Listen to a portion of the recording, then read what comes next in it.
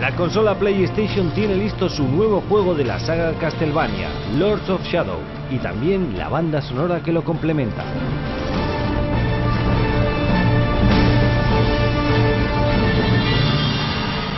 La música tiene su complejidad porque son dos horas y pico de gran orquesta, 80, 90 músicos, 50 o así de coro y también bastante percusión.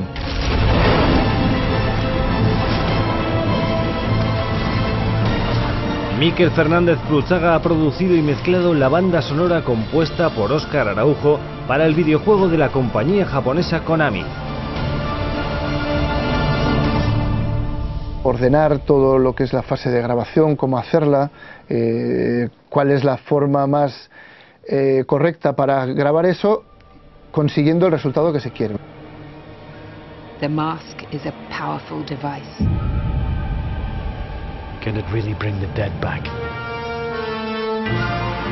Y luego las mezclas en las cuales pues tienes que darle ese sonido para, para el, en concreto en este caso para un videojuego.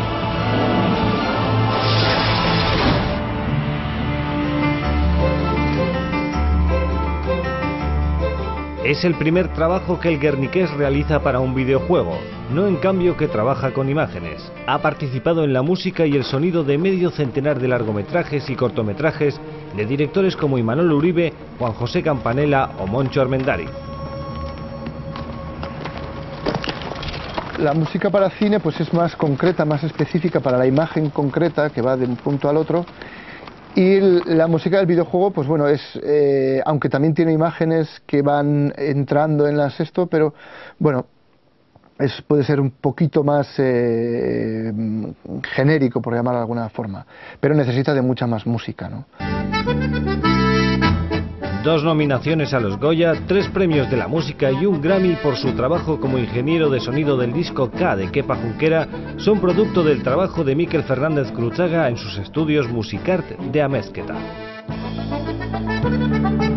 El trabajo de, mm, técnico, según yo lo considero, es un trabajo más de estudiar, más de pensar, más que de hacer, aunque parezca que estás todo el día moviendo botones, pero mover botones sin ninguna dirección clara no lleva normalmente a buen puerto.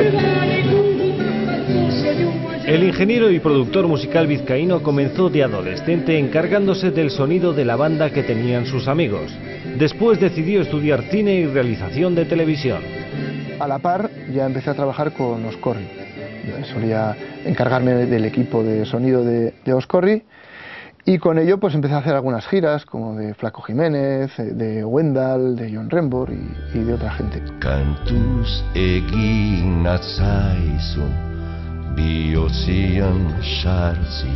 Concierto a concierto y disco a disco se ha convertido en habitual encargado de las grabaciones de conocidos grupos euskaldunes y españoles.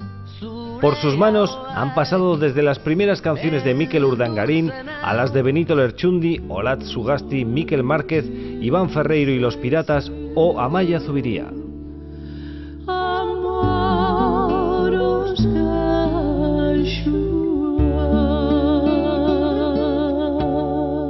Procuro un poco analizar eh, su estilo, su forma de hacer música y eh, trabajar un poco a favor de, de, de, ese estilo, de su estilo, de su forma de cantar o de su forma de hacer música. En los últimos discos de Cupela y Pello Ramírez, además de técnico, ha sido productor.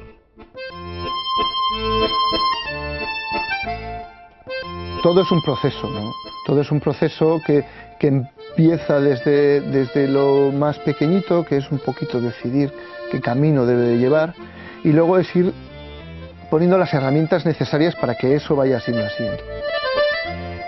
Las herramientas para lograr el sonido adecuado para cada ocasión son digitales y analógicas en sus estudios Musicart de la localidad guipuzcoana de Amezqueta. Porque no en vano la historia de la música hasta hace poco ha sido analógica y hay muchos aparatos que aún digitalmente no se ha conseguido ese tipo de sonido, ese tipo de color, de, de esa calidad. El sello del estudio de Miquel Fernández Cruzaga y su sonido volverá a escucharse en las próximas semanas con sus más recientes trabajos cinematográficos y discográficos.